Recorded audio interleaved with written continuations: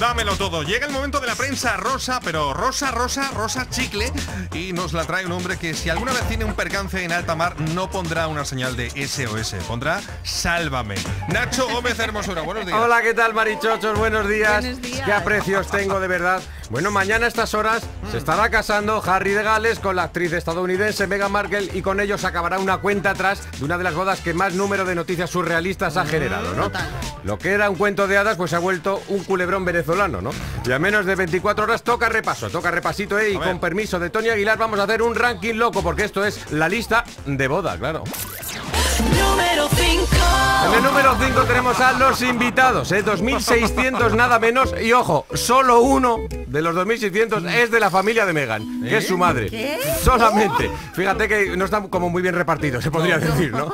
No hay balanza, no hay balanza. no hay Ahora balanza. los, de, los de la familia del novio aquí, la familia de la novia aquí. No, porque desperdicias el ala, uno de los dos alas, ¿no? De verdad, 500 de- 530 de ellos son los invitados personales, ¿no? Los que han recibido ya una invitación por parte de los novios, ¿no? Esos, esos a los que quizás los novios hayan visto alguna vez, ¿no? Vale. Esos son 530. Pobre Megan cuando vaya a mear diga, ¿esta quién es? ¿Esta que tengo aquí al lado? Hola, hola. Hola, ah, tú vienes a mi boda.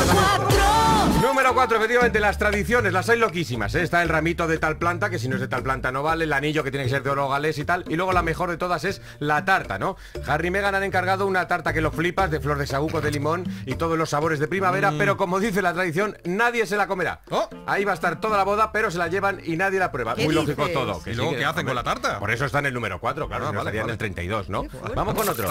3. El número 3 son las cifras. Un bodorrio como este pues siempre genera cifras muy muy locas. A ver. ¿eh? 2.000 millones de personas lo seguiremos por la tele, 72 millones por, por eh, YouTube. Y se beberán 17.000 copas de champán y vino.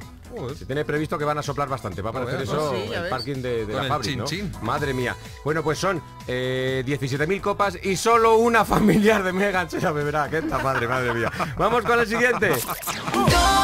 En el número 2, el padre de Megan. Ay, Thomas Ay. Markle, este señor de este señor no se fía a nadie, ¿eh? Y menos después de que filtraron unas fotos suyas probándose el traje y leyendo un libro como de historia británica. Eso ha sentado fatal. Claro, puesto número 2 y subiendo. Y subiendo, ojo, ojo, ojo, que en la próxima semana puede estar en el número uno. Bueno, la Casa Real ya ha dicho que este nos la lía fijo, ¿no? Y le han medio obligado a Megan a que haga un comunicado como diciendo que está muy mal de salud su papá y que no va a poder ir. Una- un comunicado que no se ha creído demasiado Vaya, gente. Y vamos hombre. ya por fin, lo que todo el mundo está esperando. Claro.